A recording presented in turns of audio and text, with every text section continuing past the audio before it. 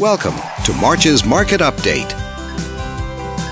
Let's take a look at residential real estate activity in your area during the month of February. The number of active listings was down 39% from one year earlier and down 20% from the previous month. This smaller inventory means that buyers who waited to buy may have had a smaller selection to choose from. As you can see, the median listing price for the month was just under $390,000. Compared to last year, the average number of days that units spent on the market before being sold was down 8%. This lower number of days may signal a positive trend in the local inventory turnover rate.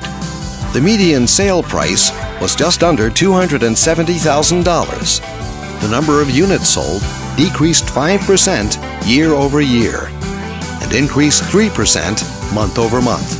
Despite a slight annual decrease, this upward monthly sales trend indicates positive momentum. Thanks for watching. We hope you use this information to make smart, informed decisions in your upcoming real estate transactions. Click on screen to contact us for more information or further assistance.